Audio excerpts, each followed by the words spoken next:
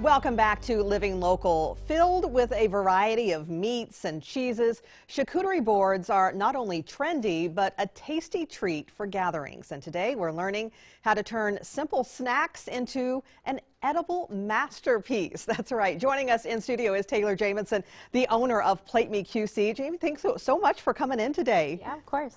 So, charcuterie boards have, have gained a lot of popularity over the last few years. Why do you think that is?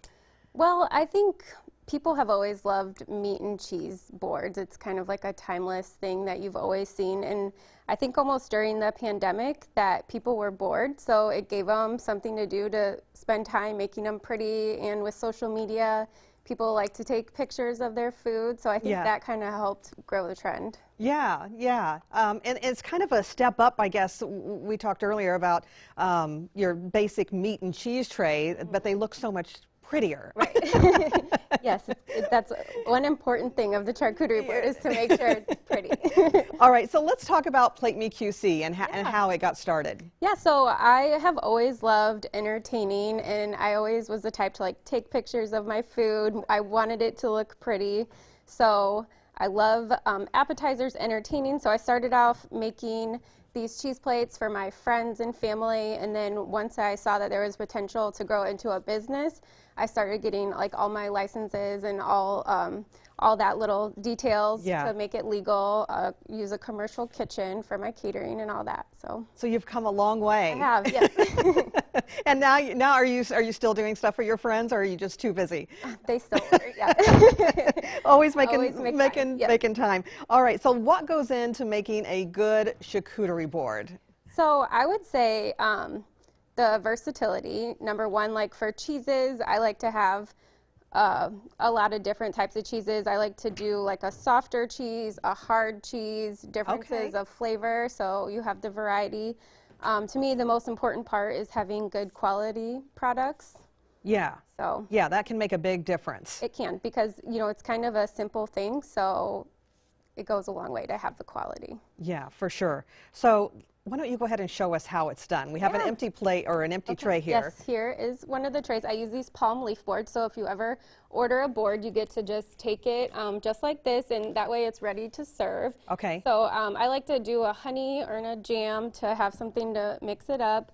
Um, I always start with the cheese first when I build my board, but okay. you know, if you're making it at home, just you can have the freedom, just do whatever. I don't like to have really like a plan before I uh-huh. start. I kind of just just go with the flow of how it feels that day. I like to oops, I like to do my cheeses in different cuts so then it, you know kind of looks a little bit more interesting, something different to look at.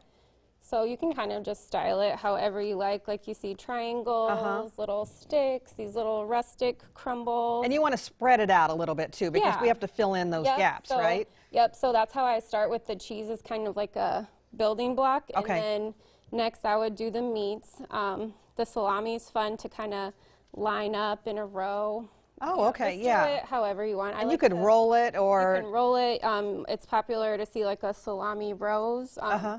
Oh yes, I have seen those. Those are so. So I kind of like it how it looks in just like a ribbon to. Well, see, you made these kind of look like yeah, a flower. So those are pretty. Fold it like that, and then you can add um, differences. So I like to use like a few different meats too. That way people can mix and match uh-huh. when they're making a bite. So I think that's what's popular about charcuterie boards too, because you can kind of personalize it. Even when you're taking a bite, you might mix the cheese yeah. with the jam and all yeah. that. So next I do meat, and then I would add say like the pickles, olives, just kind of wherever you see a hole, then you can kind of just start going filling for it. it and filling it in. Yeah the end. Um, I like to do dried fruit and fresh fruit. So here, I would like to balance out the colors. All right, and that's what I was going to say, yeah. So it's fun to have like bright colored things mm -hmm. to our seasonal items whenever you can.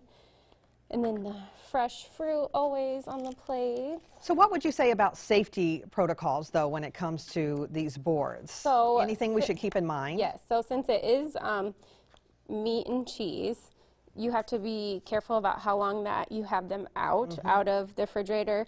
So a lot of people, it takes you, it can be, take a while to make the tray. So then you have to think that you want to have your guests have time to actually eat the tray too. yeah. So you have about four hours of time. So like after you take it out of the fridge, there's four hours where it's still. Okay. right. Four hours, folks. Yes. That's, that's what you've got. Yes, you have to be a little bit quick in making it, so then you don't give food poisoning to Right. your guests. Yeah, we don't want that. That's not a good thing. So if folks want to order one of these uh, beautiful boards, how do they do so? Yep. Um, so you can email me at platemeqc at gmail.com, or else if you follow on Instagram or Facebook, it's at platemeqc. On Facebook, it comes up as just PlateMe, and then Instagram platemeqc.